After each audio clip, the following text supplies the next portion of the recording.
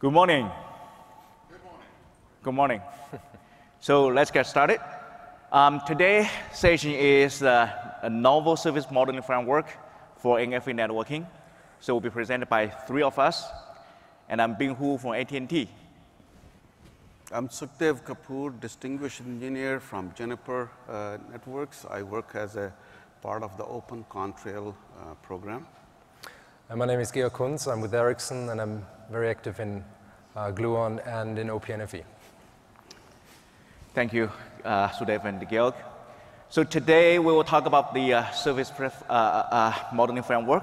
So we'll start with the, uh, the new paradigm shift in the NFV networking. What are the business goals and what is Gluon? Basically, the very high-level architecture, and followed by the uh, current implementation and backend communication that um, will be introduced by uh, Georg, and how to create a new, new API, and uh, we will talk about the, also the Gluon roadmap and uh, integration plan with Neutron, and uh, we'll talk about the uh, Sukhdev. Um, so let's start with uh, paradigm shift. So in the uh, traditional data center networking, and all the traffic is usually not a bottleneck, and the traffic will be terminated at the application, the SaaS side. And so under these circumstances, um, the interoperability and the stability is always the key to the success of the uh, uh, SaaS applications in the traditional cloud. And so you want to achieve the uh, uh portability of different VNFs and uh, um, SaaS applications to be running on different types of clouds. And uh, in the NFV networking, and things a little bit different. And the traffic is usually high put, throughput and usually and will be passed through instead of the termination at SaaS. For example, the virtual um, switches, virtual routers, the uh, virtual firewalls, and all the traffics are passed through those VNFs and uh, being switched or be routed to uh, different the, uh, destinations. And we need the high um, performance of the uh, traffic to be able to pass through those um, VNFs. And uh, so under these circumstances, and the more important thing is the um, quick development and uh, um, accelerated deployment of new networking services and to achieve the time to market and uh, to uh, improve the business agility. So that's the uh, paradigm and the shift um, in the NFV networking um, uh, uh, domain. And also in the service from service provider perspective, right? And we are dealing with all sorts of different types of legacy networks. And uh, so let's, someone said that there are 99 protocols to deal with instead of the only TCP and HTTP to be dealt with in the uh, uh, data center networking.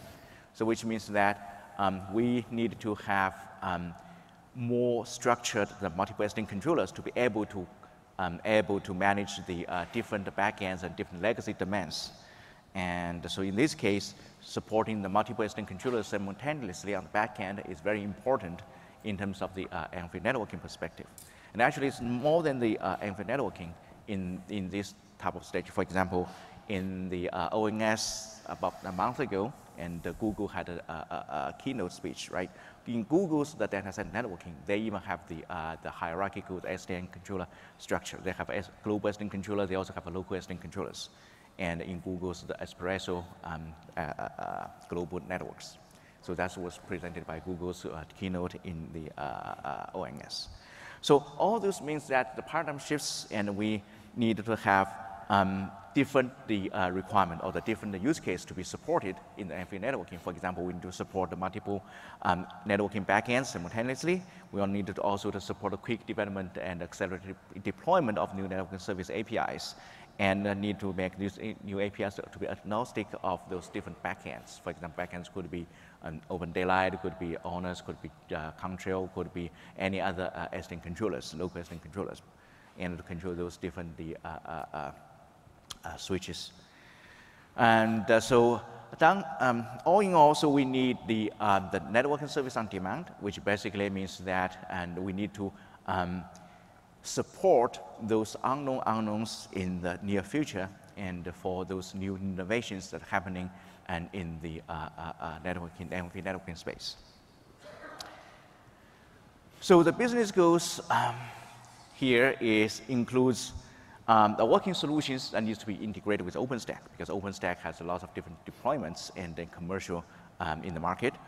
And we need to able to use both the Neutron and the new NFV networking service together so that they can, we can support both um, the happy use of Neutron in the traditional data center, and also we need to serve our the, uh, uh, new users in the uh, new segment of new NFV networking.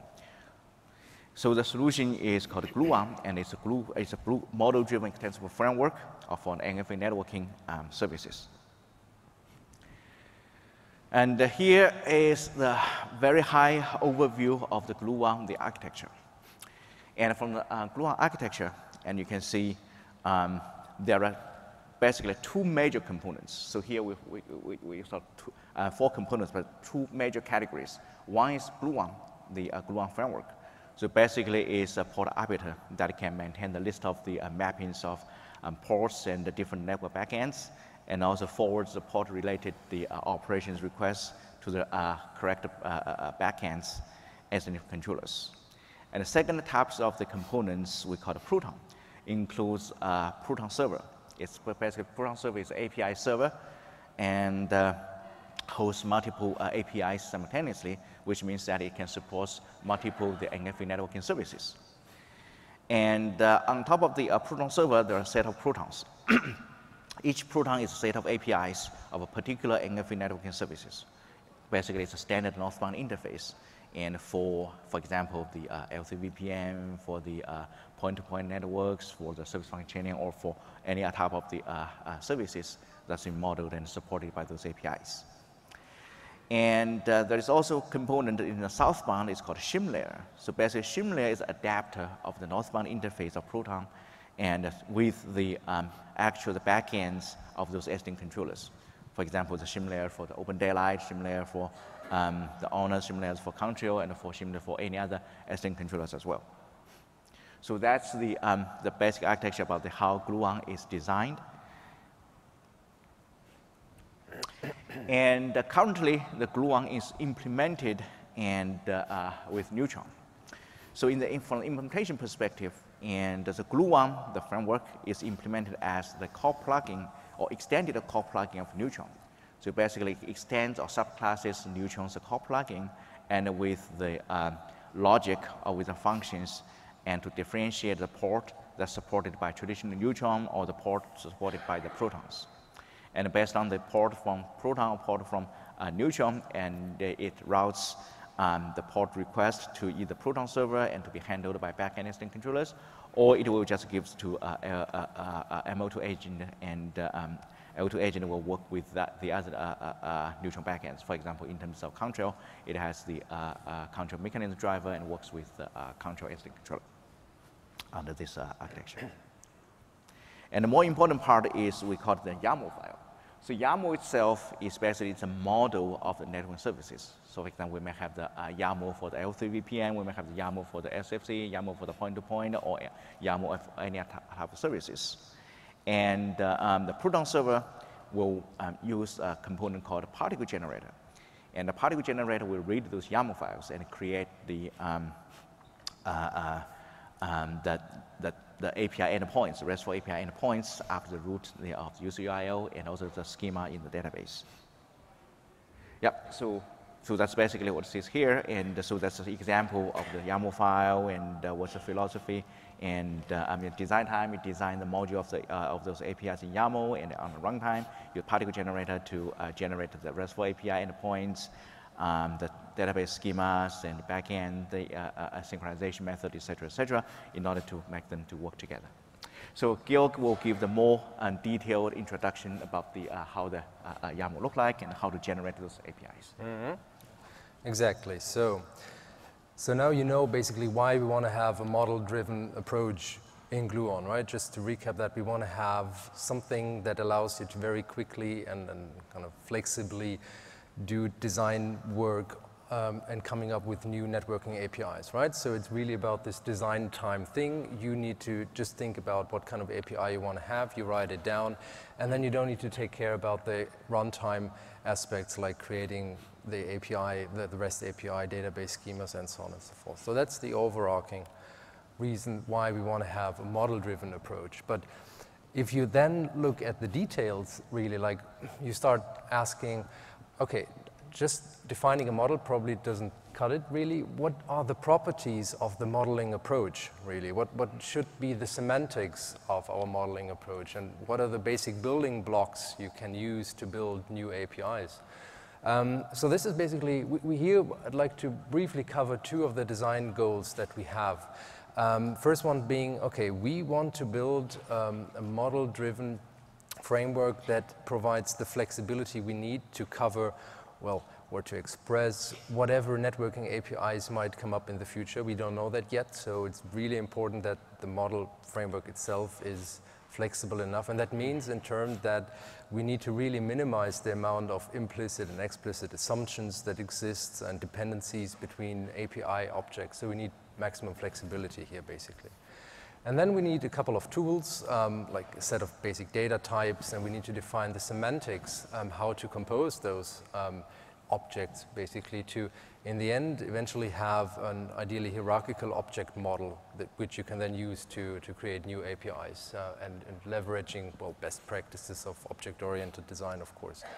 So that's, these are design goals covering the API modeling approach as such. But we also need to take care about, need to take care of how do we uh, make sure that multiple different APIs can coexist next to each other. And well, at runtime in the same data center, in the same network, and even kind of bound to the same VM, for instance. So I'll talk about those on the next couple of slides. Um, specifically about the API object model. There are two different kinds of objects, base objects and API objects. Um, a base object is really just, um, well, uh, a set of attributes that, or that groups a set of attributes, so to say, um, and it is meant to be used um, in composing these and building more complex objects out of this. So um, our particle generator will not instantiate, so to say, a, a, base object. It will not be something that you can modify later on in the API. It, in that sense, it's more really like an, something like an abstract class. It's something you build something else from.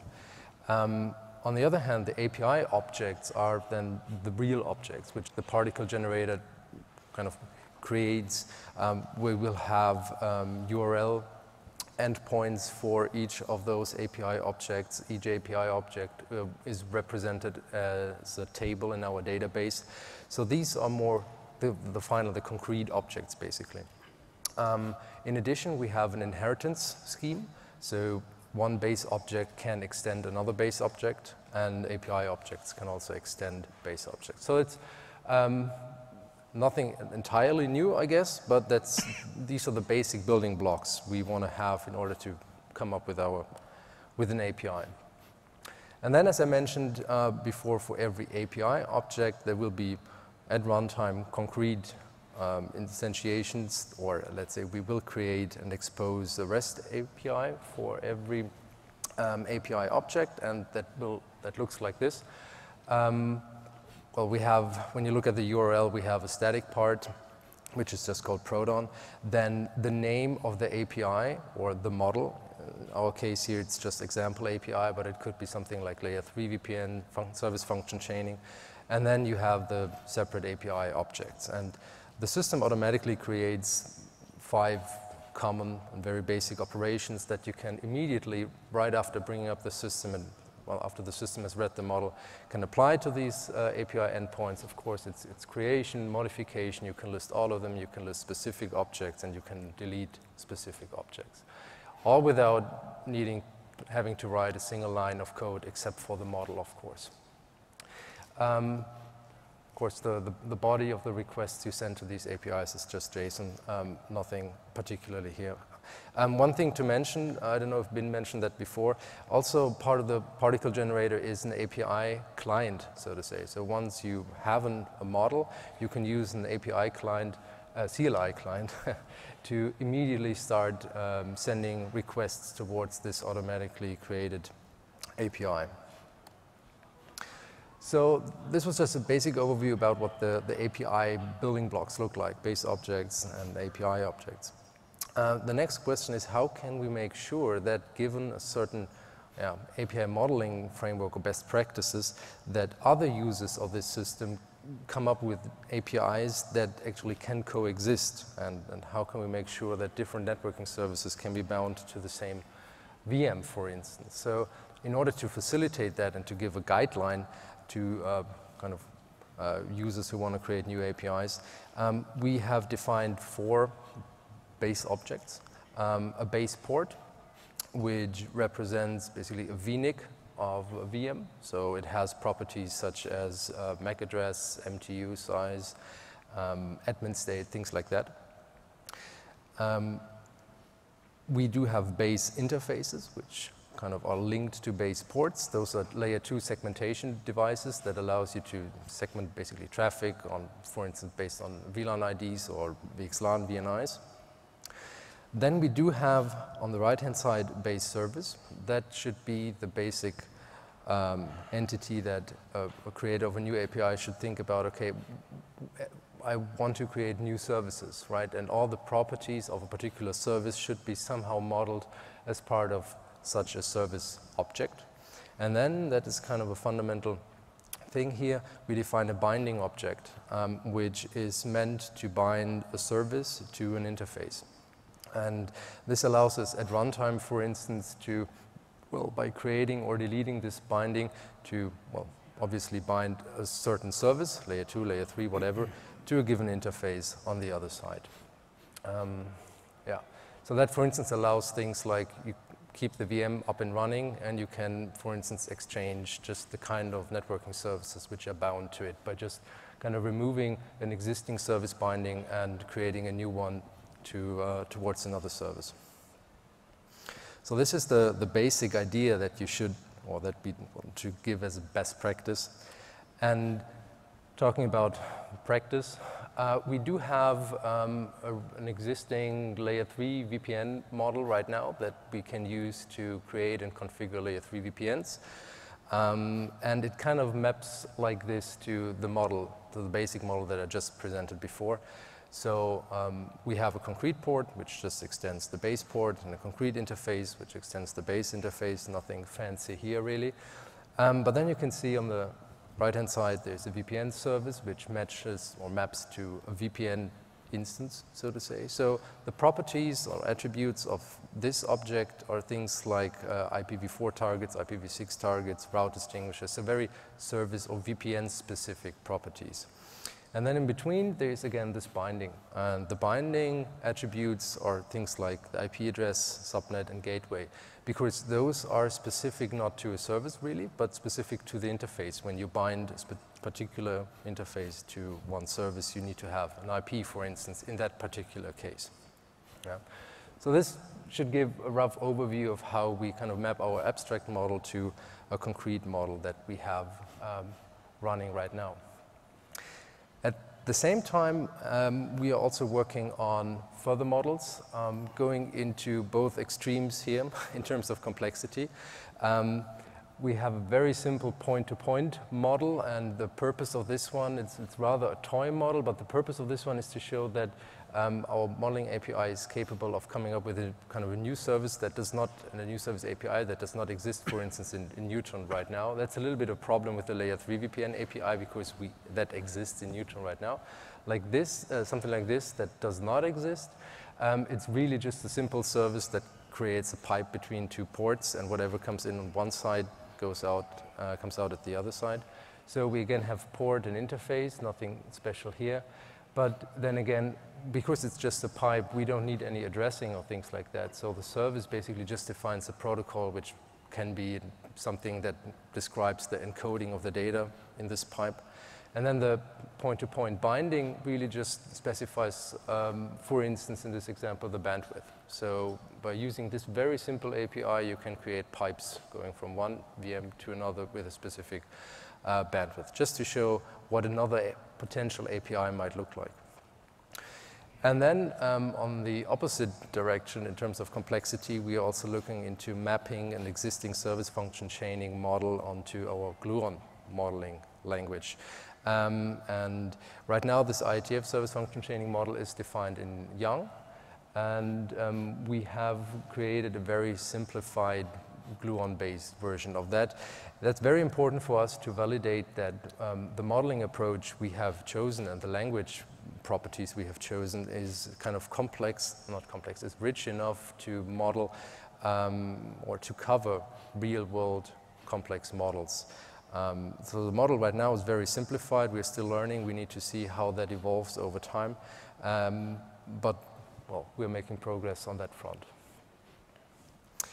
That basically covers my part, and now Sukhdev will talk about the future. Yes, so uh, whatever you heard, uh, what we want to do is we want to bring it as an integral part of Neutron. So we want to uh, take Gluon and make it as a, a part of Neutron as a, one of the stadium uh, projects, right?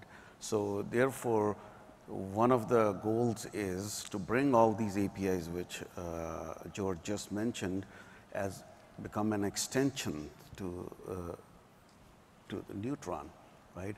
In order to do that, uh, one of the thoughts which we have is uh, we're going to uh, make a Gluon as a, uh, as a new service plugin within Neutron community. So thereby, we can expose all these uh, APIs which we just uh, talked about through the main Neutron API. So, so essentially, it will look like Neutron Gluon create an object, or Gluon Neutron Gluon connect or bind uh, to endpoints and, and whatnot. So, so with that in mind, another thing which, uh, which Ben mentioned earlier, the idea is to have all the existing services which are available in Neutron uh, networking and be able to extend uh, the services on, on, on top of that, right?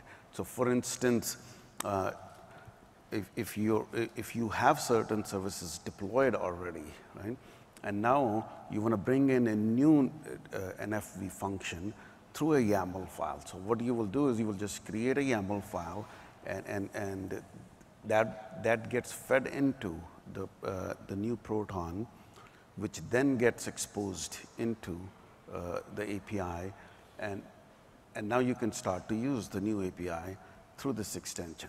So that's that's our ultimate goal. That's where we are heading, right? And by doing uh, the service plugin, uh, we can fully integrate it with the rest of the Neutron services, and we, we intend to leverage all of our existing networking projects which exist today, like networking ODL, you know, networking service function chain, you know, uh, VPN service, load balancer, whatnot. So this will essentially add on to that. And uh, one of the projects, I don't know whether uh, you guys heard it or not, but uh, I'm part of Open Contrail uh, uh, program. And we announced uh, a networking Open Contrail yesterday. That's a new project which is being kicked off, whereby now independently Open Contrail becomes a part of Neutron. So Gluon is an excellent opportunity to leverage on that. So, so all of these seamlessly fit in together to bring in uh, one unified API and, and thereby, so uh, for instance, uh, when George was talking about the base object, right? So the, the gluon will have base objects and, and the protons will come in and will add new attributes and all of a sudden we can create different models within the base object. So that, that's where we are going, and we are intending to utilize all of existing services and bring in add, add-ons. What does it do? It gives a huge win for the operators. You can, uh, you can bring in new NFV services in your existing deployments without requiring any forklifts, right? And uh, and you can run multiple SDN controllers. Today, if, uh, for instance, Neutron uh, or in OpenStack itself, you couldn't potentially run two monolithic plugins simultaneously, right? So this would allow that. So now we can bring all of them together, and, and the new architecture would look something like this. So you have uh, Neutron core plugins. So we're looking at it, either we will use uh, the core plugin as is, or we will possibly uh, bring an extension to it and call it a Gluon core plugin, right? And then you have uh, other all Neutron extension APIs, which are uh, load balancers, uh, service function chaining, uh, routing, or whatever. All, all, all of those APIs exist. And on top of that, these new Gluon APIs get attached, right? And within uh, Gluon uh, service plugin sits a Proton server. That's, that's exactly what Ben and George sort of talked about the details, right? So they get packaged as a part of this, and the YAML files are the ones which get fed into the, the Proton server, and, and they become part of uh, part of the APIs, right? And and then uh, on the back end, you have multiple SDN controllers. So now you can run uh, Open Contrail or ODL or ONOS or whatever uh, you have. And uh, for instance, if you have a data center or multiple data center for that matter, which are being managed by this OpenStack instance, uh, if they're managing different clusters, different parts of the data center, offering different services, Uh, you can bring them together. For example, to give you an example, what I was able to do was by, by utilizing these principles. So I used two open Contrail instances independently. They're both hosting services, and I was able to create a, a service chain across two controllers and, and be able to load balance. That something doesn't exist today or if you, if you need to accomplish that, you will have to do a lot of manual configuration. So you'll, you'll be pulling a lot of teeth to make that work. So the goal of this program is to make it completely seamless you know, through the one common extension to the Neutron API. So that's where we are heading uh, with this. so this is food for thought. This is, this is the way we are thinking about uh, because uh, some of the use cases sort of are known, we kind of know. Some of the use cases we don't know because the, the industry is evolving so fast and, and so many new use cases keep coming up. So we don't want to be keep going and uh, keep creating new extensions, keep bringing up uh, more and more service plugins. So the, the, the intent here is what we will do is in, in, addition to existing resources which Neutron has, which is the basic uh, resources such as ports, networks, and subnets, in addition, we will define two uh, Gluon resources, uh, Gluon endpoint and, and Gluon net function. So the endpoint is essentially a single point which you can associate any property with it. Uh, this, is, this is what uh, George was talking earlier. So you have a base object and then you can add additional attribute to it. So for instance, if you have an existing neutron network which is running and uh, you want to add an additional property, be it a, a, a, gateway service. So you can define uh, Gluon endpoint to represent uh, a gateway object, and, and you come in and, and you say uh, Gluon endpoint connect with the neutron network.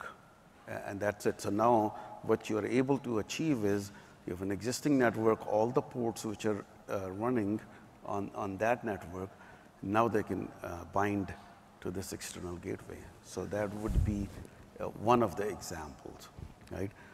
And whereas uh, uh, um, net function is a, a little more uh, complex surface endpoint, so where, where it actually defines the service.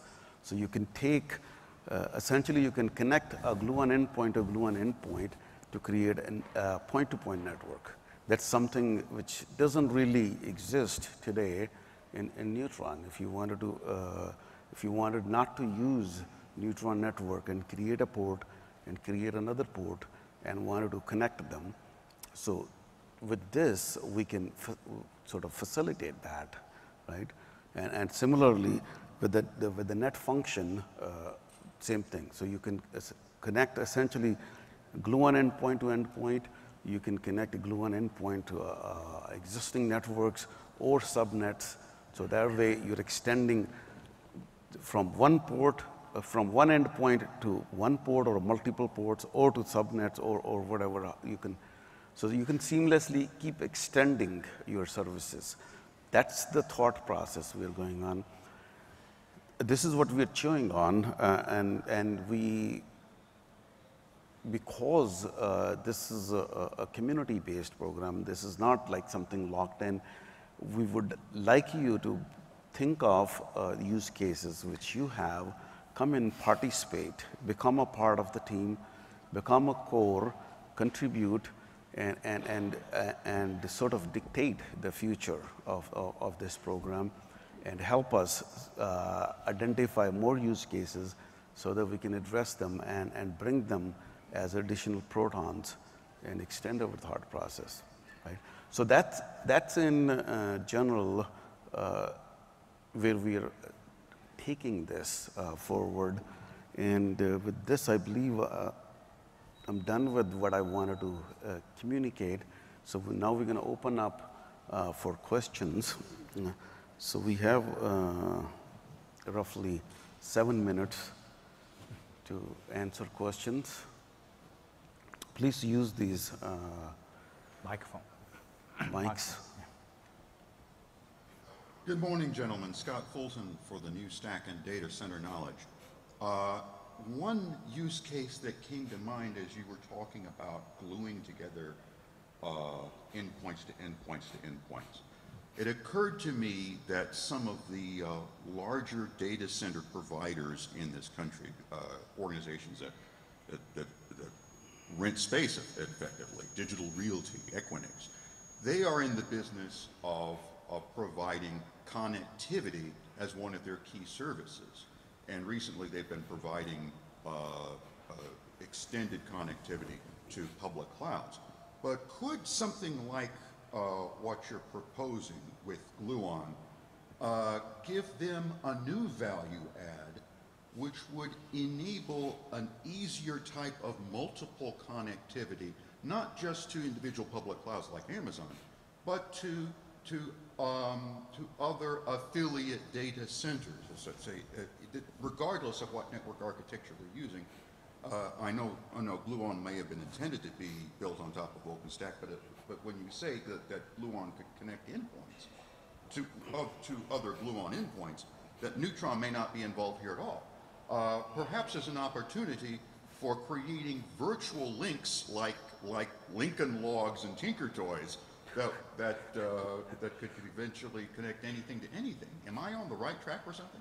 Well, uh, one, one thing which, uh, when I was explaining, uh, I, I, didn't mention. So these endpoints have properties where you can uh, you could call a local endpoint and a remote endpoint. You can specify that. And when you, uh, when you specify a remote endpoint, you will specify the properties as to how to reach that endpoint. So this is one of, one of the use case uh, which I'm thinking is, uh, for instance, uh, uh DCI, you know, interconnect between, between two, two data centers. Uh, you could potentially uh, create a Gluon endpoint which is, which is local, which, it, which is connected to potentially networks or a gateway, which is, uh, or a router or, or whatever object which is within the neutron. And, and now you can define another object which represents, which is not managed by local uh, OpenStack instance, but is it, it, lives somewhere outside, either by, with, in an, another data center which is managed by mm -hmm. another OpenStack instance or somebody else, as long as the properties by which that data, uh, the second data center can be reached, uh, you will define that as an endpoint, a remote endpoint. Yeah. And, and next thing you will do is you will say bind mm -hmm. these two uh, endpoints, and that's how you can achieve that. So, and you can create multiple of these. Yeah. So I think I, I, I want to add one important point to this gentleman's question is that the Gluon is designed as independent of any other the Vim. And uh, so this gentleman's question was about the, uh, um, forget about the OpenStack, whether or not Gluon can support the uh, point-to-point, the uh, endpoint connections between different data centers regardless of the uh, underlying the network architecture. And uh, my answer is simply is yes. It's perfectly fit no matter what the underlying the, uh, uh, uh, uh, the network controller it is, and, but the design itself is independent.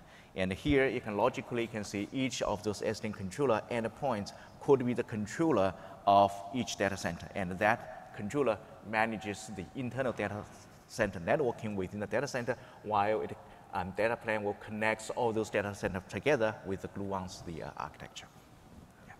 Thank you. Thank you. Thank you. It was a very good question. Any other question?